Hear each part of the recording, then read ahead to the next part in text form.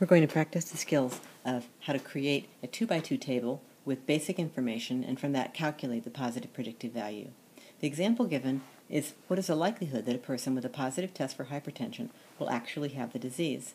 The prevalence of hypertension is given as 20% among a population of 10,000 persons 15 to 25 years of age. The test for hypertension hypothetical test is 90% sensitive and 90% specific. So in setting up the 2 by 2 table, we start with our column headers, which is hypertension positive and hypertension negative, no disease, and our rows of test positive and test negative. So a classic way, same thing we would do if we had exposure positive, exposure negative. In this case, it's test positive, test negative. We now take our 10,000 persons and we put them in the total column. Now that we have this in place, we then take the prevalence in the population times the 10,000 and calculate the uh, percent with hypertension, which is 2,000.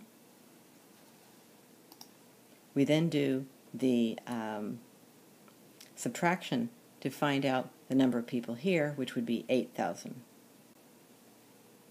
So we have our 8,000.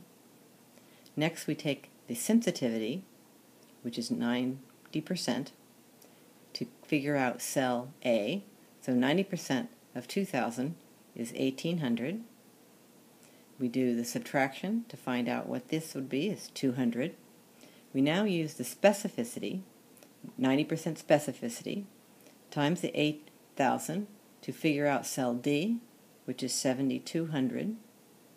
Do the subtraction for cell B, which is 800, and we can figure our totals.